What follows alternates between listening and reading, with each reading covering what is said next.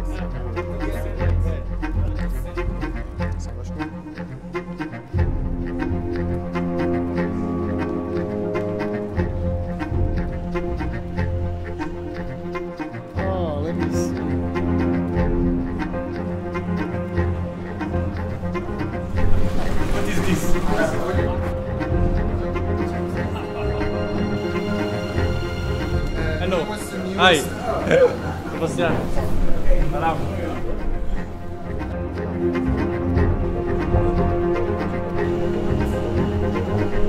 Can you guess what's inside? No. I don't know. What do you think? I don't know. I don't. re- I don't really know. I don't know. We have to see. Like I'm not good at guessing. No, I can't. I'm afraid. Sorry. It's a secret weapon. Yes. Have a look at a very secret weapon. So we can see. Sure. Yes, let's see.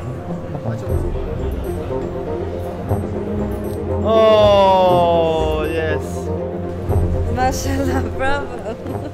I didn't expect that. That's very, very good. That's really good.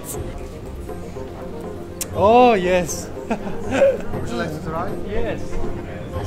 Oh, slingshot. Yes. Wow. Wow, this is a dangerous weapon. Yes.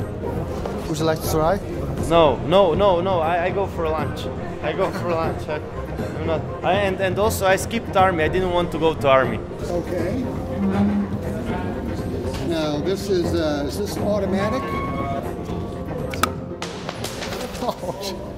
Uh, do you know what's the newest strategic weapon of uh, Palestinians? Oh no.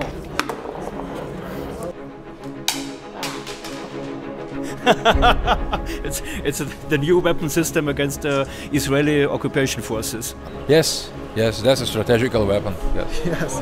Do you think uh, it can uh, convert into Israel's Iron Dome? It can, yes, because with uh, sufficient willpower and determination, we can bring down anything. Remember, the weak never remain weak forever, and the powerful never remain powerful forever. So, with enough determination, I think the Palestinians, inshallah, will prevail. My reaction is always resistance and support of resistance the main weapon of Palestinian people is the hat, and, and uh, that is the great. Good. Thank you.